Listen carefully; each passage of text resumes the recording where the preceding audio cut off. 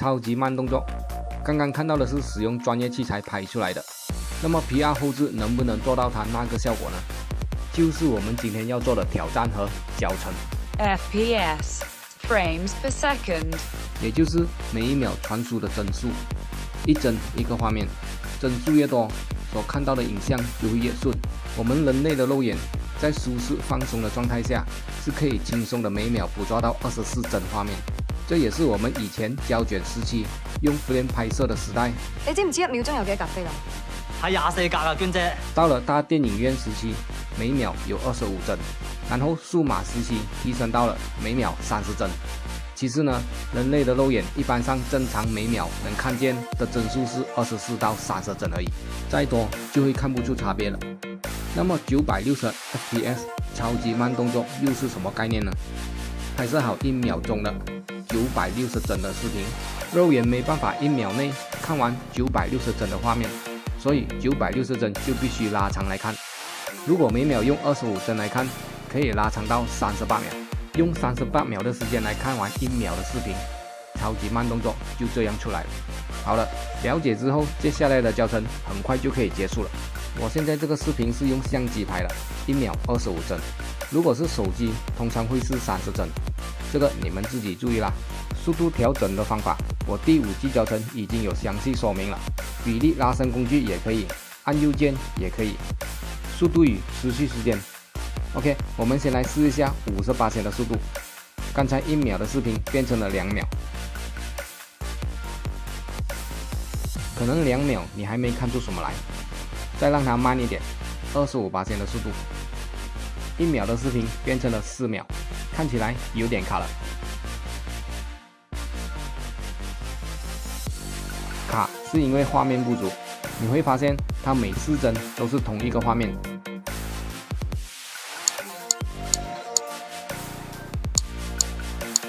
因为我用相机拍摄的时候只捕捉到二十五帧的影像。如果要让视频看起来顺一点，就必须补上另外七十五帧顺畅的画面。按右键找出时间差值。选择光流法，然后 Enter 渲染，它就会创造出新的影像出来了。OK，就是这么简单，光流法打勾就可以了。每一帧都不一样了。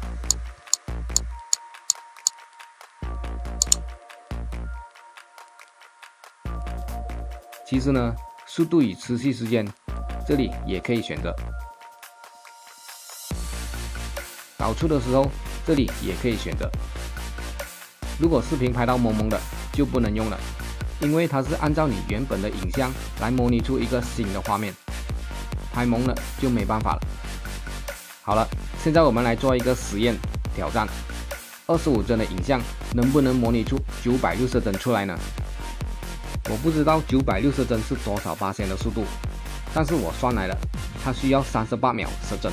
这边改一下时间就可以了，三十八秒失真，光流法渲染，能不能接受？你们自己看吧。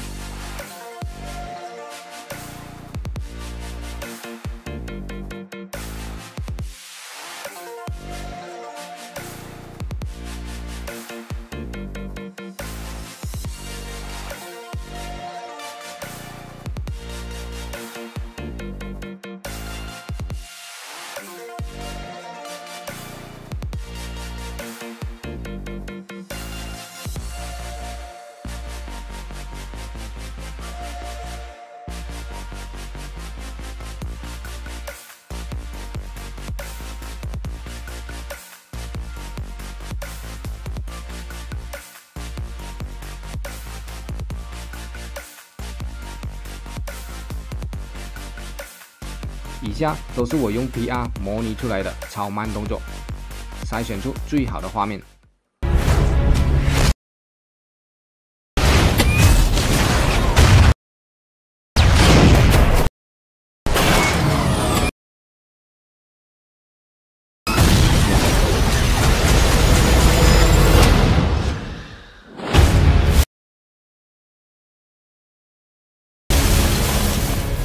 如果喜欢我的视频，欢迎大家订阅、分享、点赞、打开小铃铛。还有这个网站也可以关注下，以后我有什么更新动态，你就会第一时间收到通知。